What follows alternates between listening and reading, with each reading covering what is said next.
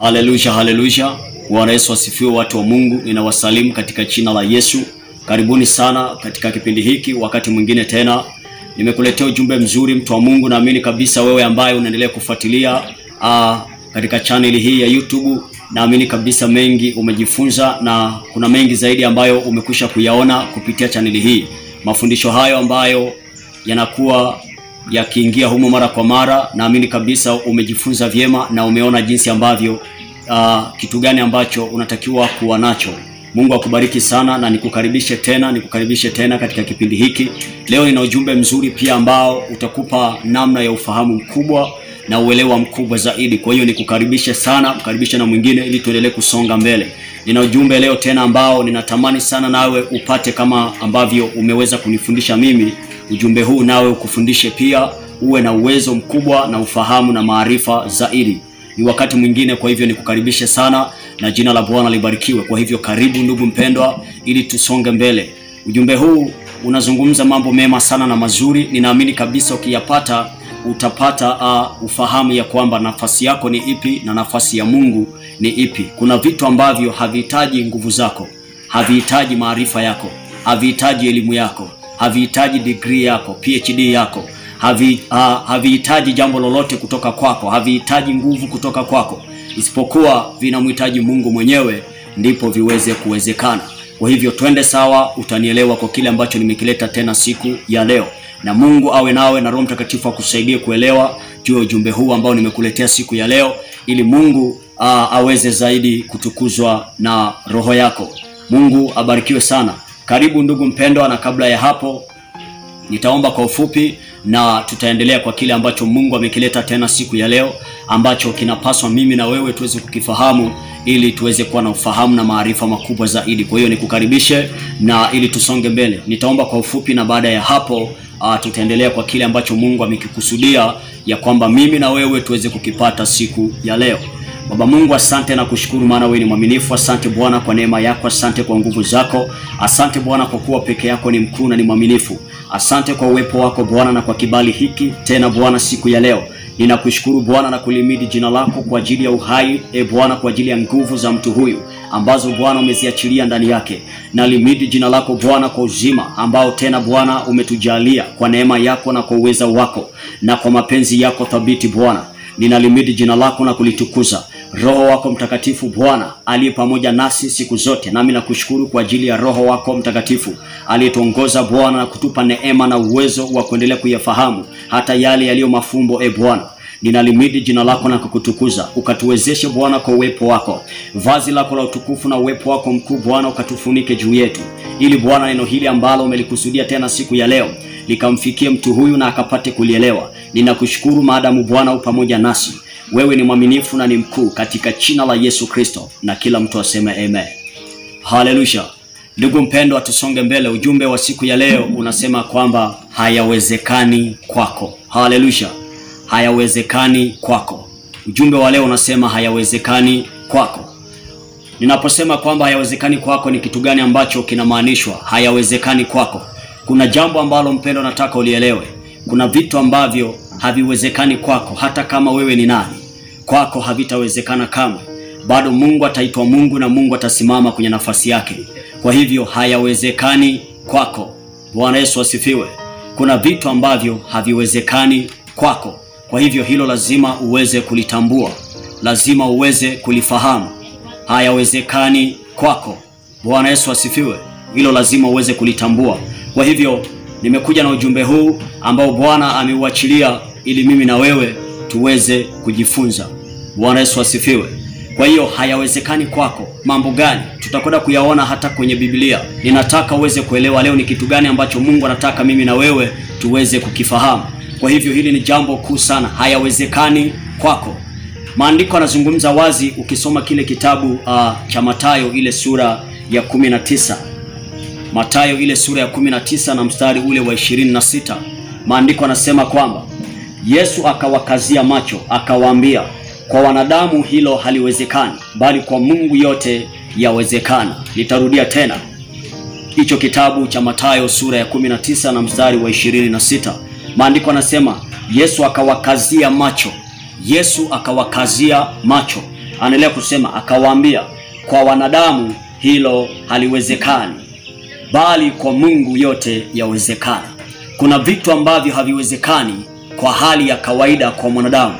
Kuna mambo ambayo hayawezekani kwa mwanadamu lakini yanawezekana kwa mungu. Kwa hivyo hayawezekani kwako kwa maana ya kwamba kuna kuna mambo au kuna kitu ambacho hapaswi mwanadamu kuweza kuketi pale isipokuwa mungu aketi pale ili jambo hilo liweze kuwezekana. Kwa hivyo kuna mambo ambayo hayawezekani pasipo mungu bali yanawezekana kwa mungu mwenyewe. Kwa hivyo lazima litambue ya kwamba kuna mambo ambayo hayawezekani kwako. Kwa hivyo kuna yapo ambayo hayawezekani kwako yanamhitaji mungu. Bwana yesu asifiwe. Kuna wakati ambao sisi wanadamu tunatamani uh, kukava au kukaa mahala ambapo tunajua kabisa haiwezekani kwa hali ya kibinadamu. Mwingine anang'ang'ana aweze kuiponya roho ya mtu yawezekana yuko katika hali ya maututi. haleluya! Yuko katika hali ya maututi mtu anang'ang'ana aweze uh, kurudisha ile hali ya kawaida ya uponyaji ndani ya afya ya mtu yule. Lakini mungu anasema hayo kwenu hayawezekani. Yawezekana yakawashinda kwa elimu zenu yakawashinda kwa utaalamu wenu lakini mungu kwake yote yawezekana. Kuna vitu ambavyo haviwezekani kwa mwanadamu vinawezekana kwa mungu. Tukisoma kile kitabu cha mwanzo kitabu cha mwanzo ile sura ya 18 nataka nikuonyeshe jambo hapo kwa habari ya ibrahimu na sara. Mwanzo ile sura ya 18 mstari wa kumi hadi mstari wa 14 maandiko anasema kwamba akamwambia hakika nitakurudia wakati huu huu mwakani mungu anasema na ibrahimu natazama sara mkeo atapata mwana wa kiume. Sara akasikia mlangoni pa hema iliyokuwapo nyuma yake ule mstari uh, unaofuata. Maandiko anasema basi ibrahimu na sara walikuwa wazee na umri wao mkubwa na sara alikuwa amekoma katika desturi ya wanawake. Maanake alishapita uh, katika ule muda wa, wa yeye kuwa na uwezo wa kuzaa maanake ni kwamba ilikuwa haiwezekani tena. Sasa hapo ni jambo ambalo haliwezekani kwa hali ya kibinadamu. Kwa maana nyingine tunarudi uh, katika ujumbe wetu ya kwamba hayawezekani kwako. Kwa umri wa sara na ibrahimu walikuwa ni watu ambao kibinadamu haiwezekani kwa wao kuweza kuzaa lakini kwa uwezo wa mungu wakapata mtoto ambaye ni isaka. Kwa hivyo kuna mambo ambayo yawezekana kwako kwa hali ya desturi ya kibinadamu maana yake kuna vitu ambavyo kwako haviwezekani. Yawezekana kulingamana na wakati au haiwezekani hata nje na wakati. Maanake ni kwamba hauna uwezo wa kulifanya jambo fulani liwezekane kwa sababu kwa binadamu au kwa mwanadamu jambo hilo haliwezekani kwa hivyo kuna mambo ambayo hayawezekani kwako. Kuna mambo ambayo hayawezekani kwako. Kwa hiyo lazima uweze kulitambua hilo. Uh, huo mstari wa kumi na mbili maandiko anasema kwa hiyo sara akacheka moyoni mwake akisema niwapo mkongwe nitapata furaha na bwana wangu ni mzee hili lilikuwa ni swali ambalo uh, sara alikuwa akijiuliza ya kwamba inawezekanaje? Na wakati uh, ninafahamu kabisa ya kwamba kwa kwa umri nilio nao haiwezekani kwa mimi kuwa na mtoto na hata kwa habari ya huyu mume wangu kwa maana ya ibrahimu. Haiwezekani tena kwa sisi kuweza kuzaa kwa sababu sisi ni wazee. Tazama uh, maandiko anasema tarudia huu mstari wa kumi na mbili. Kwa hiyo sara akacheka moyoni mwake akisema niwapo mkongwe nitapata furaha na bwana wangu ni mzee maanake mume wake ibrahimu ni mzee.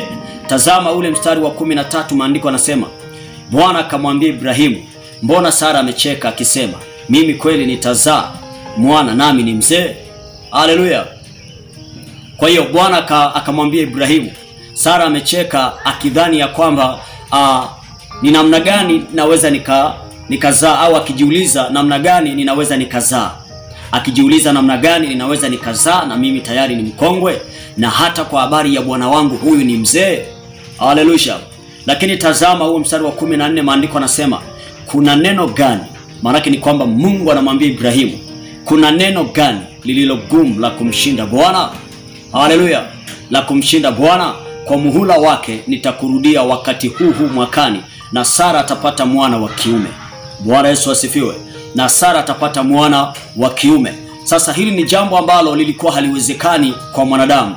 Lakini kwa mungu biblia inasema ya kwamba yote yawezekana. Tumesoma hicho kitabu cha matayo ile sura ya 19 na mstari huo wa 26 tumeona jinsi ambavyo maandiko yanazungumza pale. Haleluya. Lakini pia tukiangalia kwa habari ya kitabu cha mwanzo hiyo sura ya ishirini na na mstari wa kwanza mpaka wa tatu, pia kuna jambo ambalo ninatamani mpendo uweze kulijua hapo ili tuone kwamba je ah, huyu sara na ibrahimu walipata huyo mtoto? Ili tuweze kujifunza jambo ya kwamba kumbe kweli ya kwamba hayawezekani kwako ndiyo kwa hali ya kibinadamu lakini kwa mungu yote yawezekana kama jinsi ambavyo tumeona katika kitabu cha matayo sura ya 19 na ule mstari wa 26 ya kwamba kwa, a, kwa wanadamu hilo haliwezekani bali kwa mungu yote yawezekana. Sasa je tuone ya kwamba je sara na ibrahimu walipata mtoto au la? Ili tuweze kujifunza jambo ya kwamba ni kweli kwa mungu yanawezekana. Haleluya. Na kwa namna nyingine ikiwa kwako kwa hayawezekani maanake ni kwamba kwa mungu yanawezekana nitasoma hicho uh, kitabu cha mwanzo ile sura ya 21 mstari wa kwanza hadi mstari huo wa tatu. Maandiko anasema bwana akamjia sara kama alivyonena na bwana akamfanyia kama alivyosema na bwana akamfanyia kama alivyosema. Nitarudia tena bwana akamjia sara kama alivyonena na bwana akamfanyia kama alivyosema. Mstari ule wa pili uh, huo kunako mstari wa pili maandiko anasema sara akapata mimba akamzalia ibrahimu sara akapata mimba akamzalia ibrahimu mwana wa kiume katika uzee wake katika uzee wake kwa muhula aliyoambiwa na mungu. Maana kwa wakati aliyoambiwa na mungu. Sasa hebu tazama. Aha maandiko anasema huo mstari wa pili sara akapata mimba akamzalia ibrahimu mwana wa kiume. Tarudia tena. Sara akapata mimba akamzalia ibrahimu mwana wa kiume katika uzee wake. Maandiko anasema katika uzee wake kwa muhula aliyoambiwa na mungu. Bwana yesu asifiwe. Kwa hiyo utaona kabisa ya kwamba hili ni jambo ambalo kibinadamu lilikuwa tayari haliwezekani. Kwa hivyo inawezekana kuna mambo ambayo ah, hayawezekani kwako. Kwa hiyo lazima uweze kujua ya kwamba ni mambo gani ambayo binafsi naweza nikayafanya lakini pia ni mambo gani ambayo hainihusu mimi isipokuwa yampasa mungu kuweza kuyafanya kwa mimi kumshirikisha mungu. Kwa hivyo sisi wanadamu uh, inafika wakati tunakuwa na shingo ngumu za mioyo yetu kwa maana ya kuwa na mioyo migumu. Kwa sababu tunatamani kila kitu tukifanye sisi na ingali kuna baadhi ya mambo ambayo hayahitaji nguvu zetu hayahitaji sisi kuweza kusukuma hayahitaji kwa sisi kuweza kutumia akili na chochote kile isipokuwa ni kuweza tu kumuhusisha mungu katika mambo hayo. Kwa sababu kuna nafasi ya mungu juu ya jambo fulani lakini pia kuna nafasi yako juu ya jambo fulani. Kuna jambo ambalo linakupasa wewe ndio ulifanye wala sio mungu. Lakini kuna wakati ambao kuna mambo yanamhitaji mungu wala sio wewe. Hilo lazima ulitambue mpendo bwana yesu asifiwe. Kwa mfano kujiandalia chakula. Huwezi ukasema eti mimi nalala mungu atapika. Haiwezekani. Kuna mambo ambayo unatakiwa wewe mwenyewe ujiandalie. Eti umelala afu nasema ya kwamba mungu atashuka aje anifulie nguo zangu. Ah, hicho ni kitu ambacho hakiwezekani. Maanake kuna vitu ambavyo unapaswa kuvifanya mwenyewe kama mtu ambaye ameokoka yuko ndani ya yesu. Kuna vitu ambavyo yesu anasema omba kazi ya kutoa ni mimi. Anasema omba nanyi mtaona au ombeni nami nitawapa. Kwa maana gani? Kazi ya kuomba sio ya mungu ni ya kwako. Lakini kazi ya mungu anasimama kwenye kutoa kile unachoomba akakupatia. Bwana yesu asifiwe. Kwa hiyo kuna vitu ambavyo vinamhitaji mungu na kuna vitu ambavyo vinakuhitaji wewe uweze kusimama lakini katika hili halikumhitaji ibrahimu na sara atumie nguvu zake. Mungu pamoja na kuwa watu hawa ni wazee haleluya pamoja na kwamba watu hawa ni wazee haikumhitaji ibrahimu pamoja na sara waanze tena kutumia nguvu au kufanya chochote kile. Ila mungu akasema mwakani majira kama haya au muhula kama huu mtapata mwana wa kiume.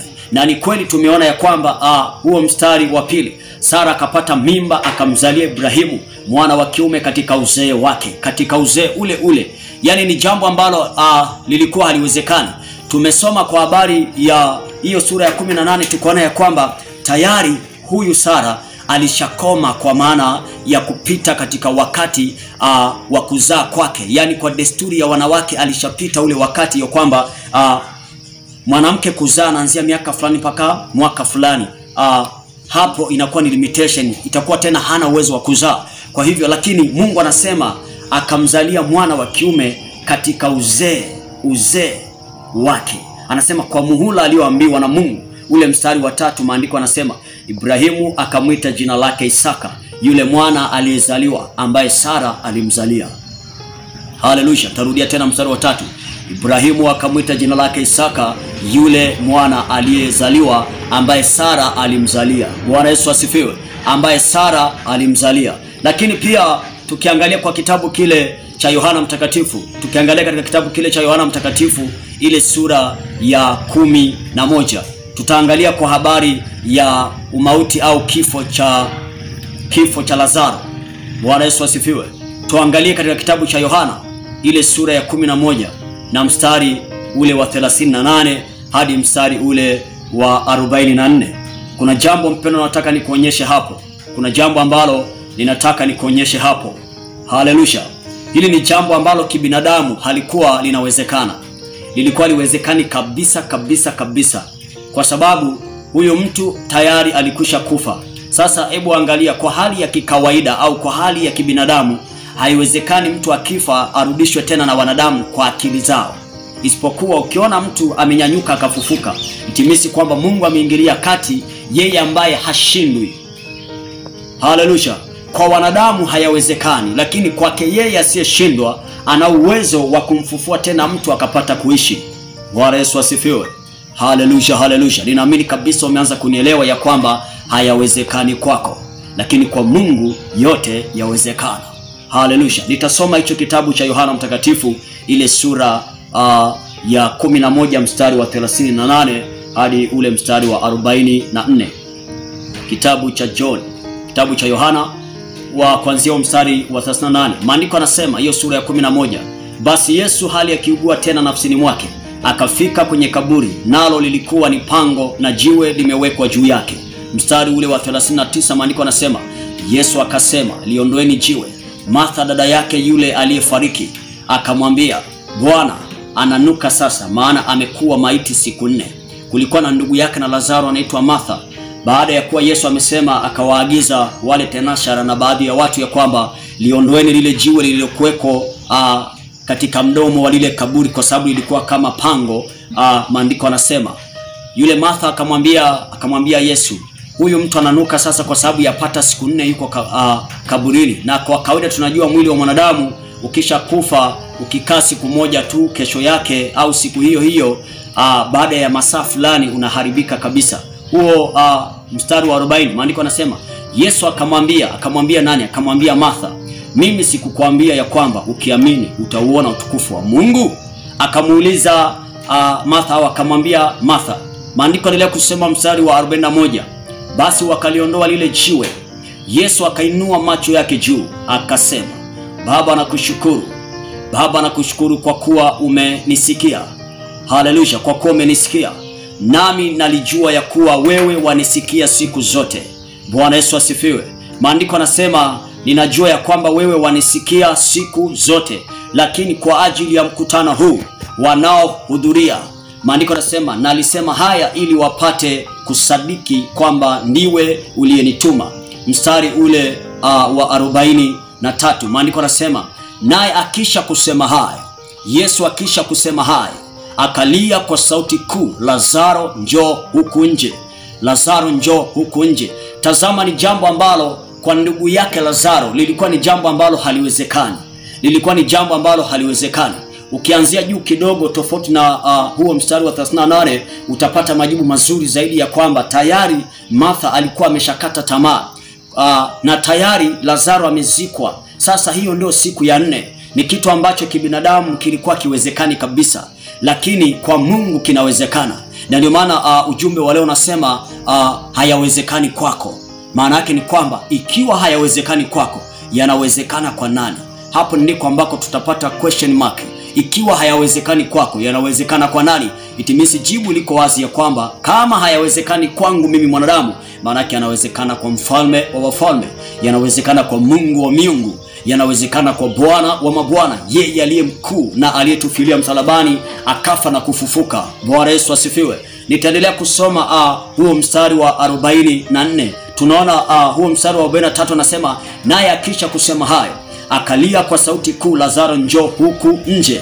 Haleluya, Lazaro njoo huku nje. Mstari huo wa 44 maandiko anasema, akatoka nje yule aliyekufa, akatoka nje yule aliyekufa Bwana Yesu asifiwe. Huo mstari wa 34, akatoka nje yule aliyekufa amefungwa sanda miguuni na mikononi, uso wake amefungwa leso. Naye maandiko nasema yesu akawaambia mfungueni mkamwache aende zake. Manake tayari mtu huyu alikwisha kufunguliwa. Bwana yesu asifiwe. Alikwisha kufunguliwa akapata kuwa huru kabisa. Kwa hivyo lazima uweze kutambua kwamba kuna vitu ambavyo haviwezekani kwa habari ya akili zako. Yaani kwako hayawezekani kamwe hata kama wewe ni nani. Hata kama wewe ni mtumishi wa namna gani. Ni mtumishi ambao una upako kiasi gani. Sehemu ya mungu hauwezi ukaikalia. Nafasi ya mungu hauwezi ukaikalia. Bado mungu atabaki kuwa mungu. Haijalishi una upako kiasi gani. Haijalishi una ufahamu kiasi gani. Haijalishi unaomba kuliko wengine. Haijalishi kuna nini ambacho unacho tofauti na wengine. Lakini bado maandiko anasema ya kwamba kwa mwanadamu haliwezekani bali kwa mungu yanawezekana. Kwa hivyo lazima uweze kulielewa kwa undani zaidi ya kwamba namna gani naweza uh, mambo fulani nikamwachia mungu na mambo fulani haya sio uh, ya kwangu nikamwachia mungu lakini kuna mambo ambayo mimi mwenyewe nayafanya au wewe mwenyewe unaweza ukayafanya. Kwa hivyo lazima utambue ya kwamba yako mambo ya mungu mwenyewe. Unayakabidhisha kwake unamshirikisha mungu unayaweka mikononi mwake unayaweka mbele zake.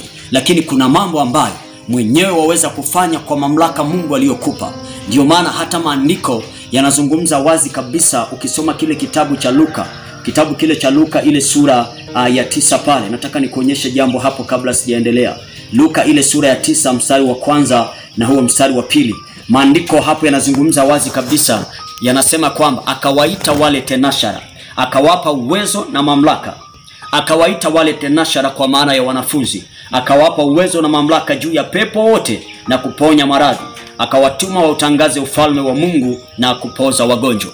Maanake ni kwamba kuna mamlaka ambayo mungu mwenyewe anakupa kwa ajili ya wewe kuweza kuyafanya mambo fulani baadhi.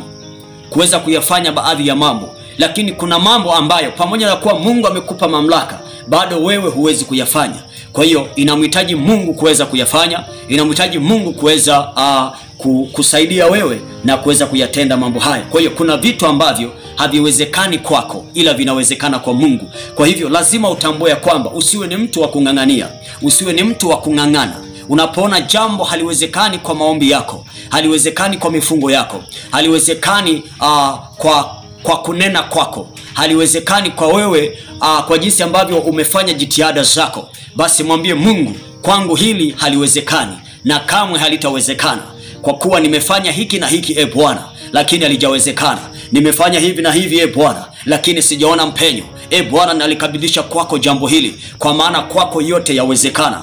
Maana jambo hili kwangu limeshindikana pamoja na kuwa mungu umeniita ukanipa mamlaka na uwezo juu ya mambo yote ambayo bwana umehitaji mimi niweze kuyafanya. Lakini jambo hili liko nje na uwezo wangu liko nje na mamlaka ulionipa maana yake ni kwamba kwa namna nyingine yawezekana jambo hili linakuhitaji wewe ya kwamba wewe uwepo hapa ili jambo hili liweze kufanyika. Kwa hiyo kuna mambo ambayo yanamhitaji mungu mwenyewe na kuna mambo ambayo waweza kufanya kwa mamlaka ulio nayo. Kwa sababu tumeona kitabu cha luka kinasema ya kwamba na akawaita tena shara wake akawapa uwezo na mamlaka juu ya pepo wote wachafu pamoja na kuponya maradhi lakini pia akawatuma utangaze ufalme wa mungu. Haleluya! Kwa hiyo kuna vitu ambavyo mungu amekupa mwenyewe uwezo wa kuweza kuvicontrol lakini kuna vitu ambavyo controller ambaye anatakiwa kuwa pale au remota ni mungu mwenyewe. Haleluya ni mungu mwenyewe. Kwa hiyo kuna vitu ambavyo havihitaji wewe kuving'ang'ania.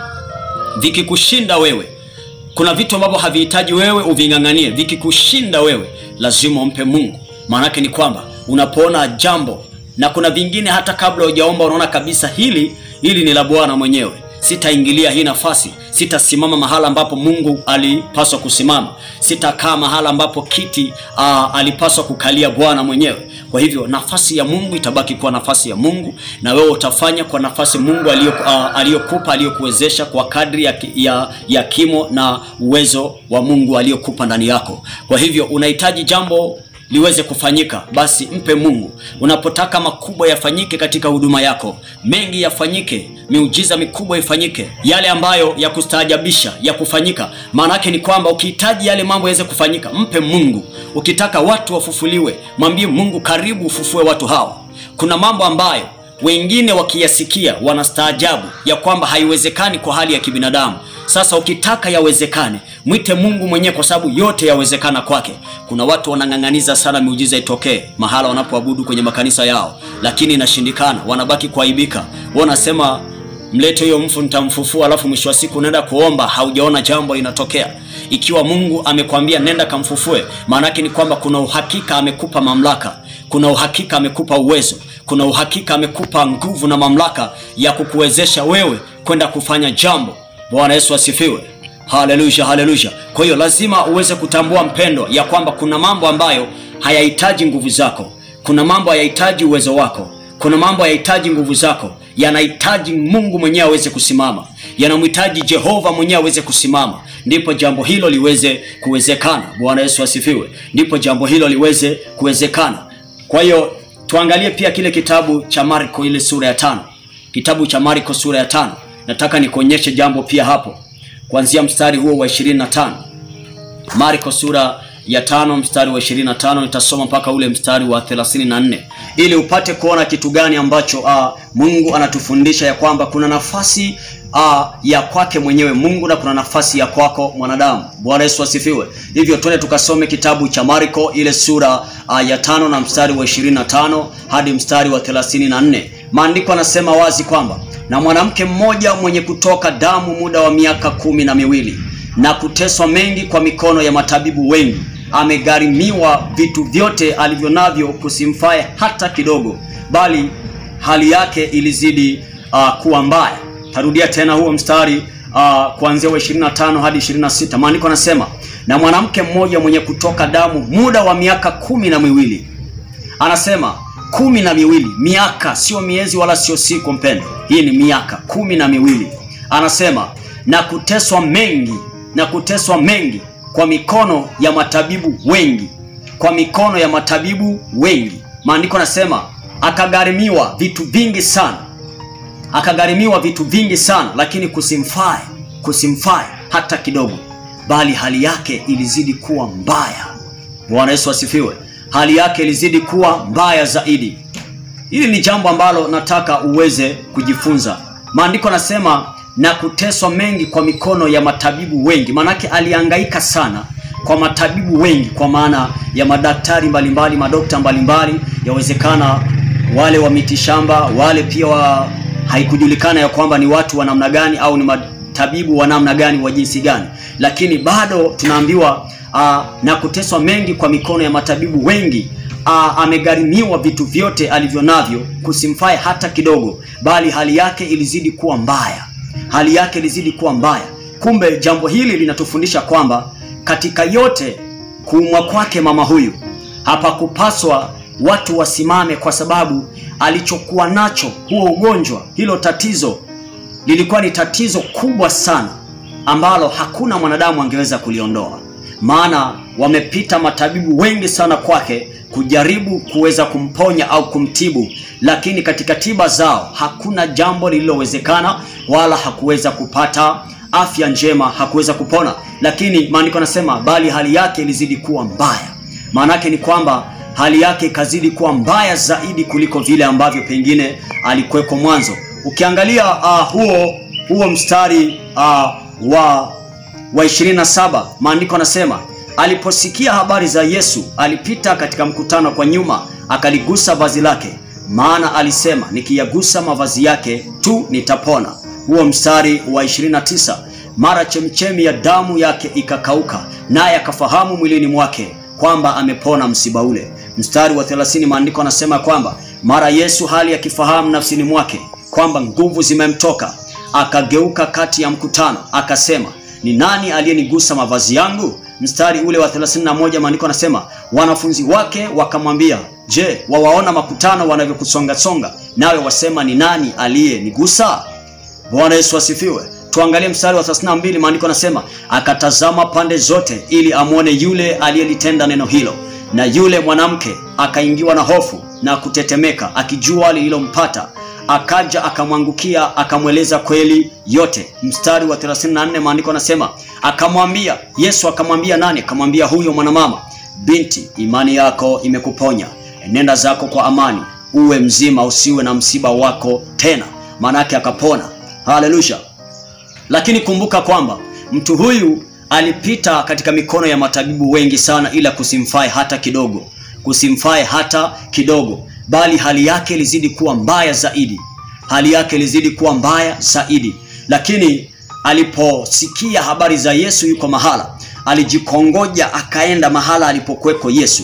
Maana aliamini moyoni mwake ya kwamba nitakapofika tu kwa yesu nikafanikiwa kugusa pindo la vazi lake nitapona. Hivyo ndivyo alivyokuwa akiamini. Je wewe unaamini nini baada hata ya kusikia yesu yuko mahala? Kwa kupitia watumishi wake wewe unaamini nini ya kwamba nikifika pale nitapona? Au ninakwenda tu nami nitimize wajibu ya kwamba nimeshiriki na nimeongeza idadi ya kuweko pale? Bwana yesu asifiwe. Kwao lazima mpendo uweze kulielewa hilo. Lakini pia tunaweza tukasoma kitabu cha marko ile sura ya tisa pia tuangalie hapo. Marko ile sura ya tisa mstari wa kumi na nne hadi ule mstari wa ishirini na saba. Haleluya. Tuangalie pia hapo tuone jambo gani ambalo yesu anatamani uh, au anataka mimi na wewe tuweze kujifunza? Bwana yesu asifiwe. Tuangalie kitabu cha marko ile sura ya tisa na mstari wa kumi na nne hadi mstari ule wa ishirini na saba. Maandiko anasema hata walipowafikia wanafunzi waliona waliona mkutano mkuu wakiwazunguka na waandishi wakijadiliana nao. Mstari ule wa 15 mara mkutano wote walipomwona walishangaa wakamwendea mbio wakamsalimu. Walipomwona yesu wakashangaa wakamwendea mbio wakamsalimu. Akawauliza mnajadiliana nini nao? Yesu akawauliza. Mtu mmoja katika mkutano akamjibu mwalimu nimemleta mwanangu nimemleta mwanangu kwako ana pepo bubu. Nimemleta mwanangu kwako ana pepo bubu. Tazama kinachoendelea. Na kila mpagaapo humbwaga chini naye hutoka povu na kusaga meno na kukonda nikasema na wanafunzi wako wamtoe pepo wasiweze. Nikasema na wanafunzi wako wamtoe pepo wasiweze huo mstari wa 18 kwa nini wanafunzi wa yesu walishindwa kumtoa pepo? Je hawakuwa na mamlaka? No walikuwa na mamlaka. Hawakuwa na uwezo? Ndio walikuwa na uwezo. Maanake ni kwamba je ni kitu gani kilichowafanya wanafunzi hawa wasiweze kumtoa yule pepo? Maanake ni kwamba nafasi ya wao kusimama hiyo haikuwa nafasi yao. Ilikuwa ni nafasi ya yesu mwenyewe kwa hiyo hapo tunajifunza kwamba si kila pepo tampiga wewe kwa mamlaka ulio nayo na kwa uwezo ulio nao. Kuna wakati unamwambia mungu simama katikati ya roho hizi. Maana utakaposimama wewe hizi roho zitaondoka ndani ya fulani na mtu huyu hakika atafunguliwa. Kuna wakati ambao mungu anatakiwa kusimama na sio wewe ijapokuwa na mamlaka ndio ndio watumishi wa leo tunang'ang'ana jambo litokee uh, mahala ambapo uwezo tulio nao haulingani hauwezi ukafanya jambo lile litokee au muujiza ule uweze kutokea. Kwa hivyo nataka ujifunze kitu mpendo kuna wakati mwambie mungu usiyeshindwa simama hapa. Wewe usiyeshindwa bwana simama hapa ili jambo lidhihirike. Maana litakapodhihirika hili makutano hawa watakutukuza wewe. Makutano hawa na wasioamini na wanaoamini bwana mioyo yao itasimama kwako nao watauinua wokovu wako na kuutangaza mbele ya watu wengine na hata katika mataifa yote. Maanake ni kwamba namwambia mungu simama hapa. Hebu angalia huo mstari wa 19 maandiko anasema kwamba akawajibu akasema enyi kizazi kisichoamini nikae nanyi hata lini? Nichukuliane nanyi hata lini? Mleteni kwangu. Wakamleta kwake hata alipomwona mara yule pepo alimtia kifafa naye akaanguka chini akagaagaa akitokwa na povu mstari ule wa 21 maandiko anasema akamuuliza babaye amepatwa na haya tangu lini? Akasema tangu utoto. Bwana yesu asifiwe. Yesu akamuuliza yule baba wa yule mtoto aliyekuwa ana shida ya vifungo hivyo. Bwana yesu asifiwe. Angalia huo mstari wa 22 maandiko anasema na mara nyingi amemtupa katika moto. Sasa huyu ni baba wa mtoto anamwelezea yesu na mara nyingi amemtupa katika moto na katika maji amwangamize. Lakini ukiweza neno lolote utuhurumie na kutusaidia. Ukiweza neno lolote utuhurumie na kutusaidia. Hebu tazama mstari ule wa 23 yesu anachomwambia yule baba. Yesu akamwambia ukiweza yote yawezekana kwake amini maanake kazi ya yule mtu ilipaswa kuwa na imani tu lakini mwenye kutenda ni mungu mwenyewe. Mara babaye yule kijana akapaza sauti akasema naamini nisaidie kuto kuamini kwangu.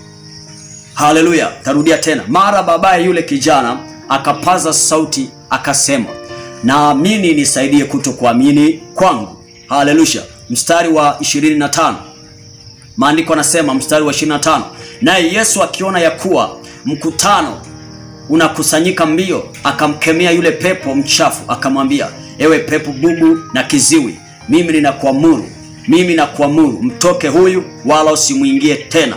Akalia akamtia kifafa. Manake uh, pepo yule akapiga kelele akamtia kifafa yule ambaye uh, amemwingia ndani yake. Akamtia kifafa sana akamtoka. Naye akawa kama amekufa kama amekufa. Sio kwamba amekufa kama amekufa. Maana alinyamaza kimya baada ya pepo kutoka. Maana sasa yule mwanadamu alitawaliwa na zile roho. Maanake zilipotoka mwili wake ukakosa nguvu akawa kimya. Ni kama amekufa maandiko anasema akawa kama amekufa. Hata wengi wakasema amekufa. Lakini tazama lakini yesu akamshika mkono akamwinua naye akasimama. Haleluya! Akamwinua naye akasimama. Maanake ni kwamba tunajifunza jambo. Wakaomba kwa habari ya wanafunzi wa yesu lakini lisitokee jambo.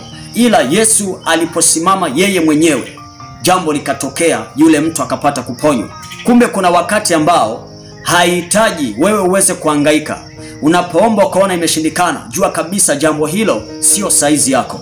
Ni saizi ya mungu mwenyewe. Maanake ni kwamba hiyo ni saizi ya mungu. Mwachie mungu mwambie mungu na kukaribisha katika shida hii na kukaribisha bwana katika mlima huu ili uweze kuubomoa na kuuondoa. Na kukaribisha bwana katika shida hii ili uweze kuifuta na kuiondoa. Na kukaribisha bwana katika msiba huu ili uweze kuuondoa kabisa usiwepo tena. Maana uliuondoa bwana kwa yule mwanamke ukasema umepona uwe na amani na usiwe na msiba wako tena. Naye akapona bwana. Ijapokuwa matabibu wengi walipita kwake bwana kwa mikono yao kwa akili zao e bwana kwa digrii zao kwa phd zao. Walisoma bwana wengine walikuwa na elimu kubwa juu ya kuponya lakini wakamtibia bwana haikuwezekana unamwambia mungu karibu hapa. Wamesema moyo umekwenda tofauti. Wanasema mtu huyu ana presha uh, ambayo haiondoki. Wanasema mtu huyu e bwana ana madonda sugu. Mtu huyu bwana ana vitu sugu ana magonjwa sugu. Simama e bwana. Ili wewe uh, usiyeshindwa upate kumponya mtu huyu. Ili wewe usiyeshindwa bwana upate kumwondoa mtu huyu ndani ya magonjwa hayo ukapate kumponya. Maanake ni kwamba unapompa mungu nafasi namna hiyo yeye anasimama katika jambo hilo na kuachilia uponyaji na kuachilia uhai na uh, uzima unapatikana na uzima unapatikana. Bwana yesu asifiwe.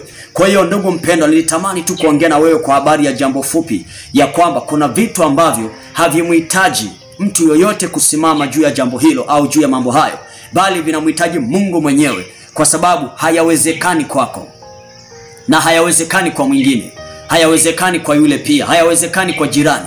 Yanawezekana kwake mungu peke yake. Na ndio maana kuna vitu ambavyo fanya mwenyewe kwa mamlaka mungu aliyokupa kwa uwezo mungu aliyokupa na kila kitu kitawezekana. Lakini kuna vitu ambavyo vinamhitaji mungu mwenyewe vinamhitaji jehova mwenyewe aweze kusimama ndipo hayo mambo yaweze kuwezekana. Na amini kuanzia leo ya kwamba yawezekana kuna mambo umeomba muda mrefu na bado uh, umewashirikisha watumishi wengi sana wakusaidie kimaombi. Wameweka mikono juu yao wameomba wengine wamenena sana lakini bado haijaonekana uh, faida au kuonekana matokeo ndani yake. Badala yake bado naomba juu ya swala moja kwa muda mrefu. Aha mwingine anaweza akajiuliza ya kwamba mtumishi anaongea nini? Kwa sababu kuna wakati maandiko anasema na yaweza mambo yote katika yeye anitiae nguvu. Aha wacha nikupe ufafanuzi katika andiko hilo la wafilipi 4 mstari wa 13 hapo maandiko au andiko linazungumza wazi ya kwamba nayaweza mambo yote sio kwa nguvu zangu katika yeye anitiae kumbe bado mungu atasimama kwenye nafasi yake. Iwe wewe umeyaweza na hata hayo ambayo wewe unayaweza kumbuka unayaweza kwa sababu anakutia nguvu. Kwa hiyo bado mungu yuko kwenye nafasi yake bado mungu atabaki kuwa mungu. Haleluya. Kwa hivyo usije ukasema kwamba mbona kama kufufua nilishaombea mtu akafufuka nilishaombea watu kadha wa kadha wakafufuka nilishaombea watu wenye ukoma wakatakaswa nilishaombea watu wenye mapepo yakatoka. Ni sawa. Je huo uwezo na hiyo nguvu na hiyo mamlaka nani amekupa? Ni mungu. Kwa hivyo bado mungu atabaki kuwa mungu. Asingekuwa mungu amekupa hiyo nguvu maanake usingeweza. Kwa hiyo japokuwa ya kwamba unayo hiyo mamlaka bado kuna vitu ambavyo wewe huviwezi kuvifanya. Haleluya bado kuna vitu huwezi kuvifanya. Hebu angalia japokuwa hawa hawa ni wanafunzi wa yesu ni tenashara wa bwana lakini pamoja na kuwa ni wanafunzi wa yesu na wako karibu naye lakini bado wameomba juu ya kumwombea huyu mtu lakini hakupona. Isipokuwa alipokuja yesu mwenyewe manake akamponya yule aliyekuwa mgonjwa. Kwa nini wale walishindwa? Sio kwa sababu huko ndani uh, ya kanisa sio kwa sababu u karibu na mtumishi fulani basi kila jambo liweze. Au sio kwa sababu wewe ni mtumishi basi kila kitu unaweza kufanya. Hapana kuna vitu ambavyo utaviweza lakini ni kwa kuwezeshwa na bwana kwa nguvu na uwepo wake ndani yako na kwa mwongozo wa roho wake mtakatifu. Na bado ni mungu huyu anasimama upande wako. Bwana yesu asifiwe. Kwa hiyo bado tutasema mungu ni mungu na atabaki kuwa mungu na yeye ni mshindi na ana nguvu kuliko kitu chochote na ana nguvu pia hata kuliko wewe. Kwa hiyo ili uwe na nguvu tunamtegemea mungu zaidi. Lakini pamoja na kuwa tuna mamlaka na nguvu na uwezo ndani yetu bado tutamwambia mungu simama katika jambo hili maana uh, limetushinda mungu akubariki sana ndugu mpendwa nami niseme ya kwamba nitaishia hapo na mungu akubariki sana na niseme ya kwamba endelea kufuatilia chaneli hii endelea endelea kufuatilia zaidi. Naamini kabisa ya kwamba unajifunza mambo makubwa na mambo ambayo yanakutanua fahamu zako na kukupa maarifa mengi zaidi. Mungu akubariki na tukutane tena wakati mwingine. Jina la bwana uh, libarikiwe. Amen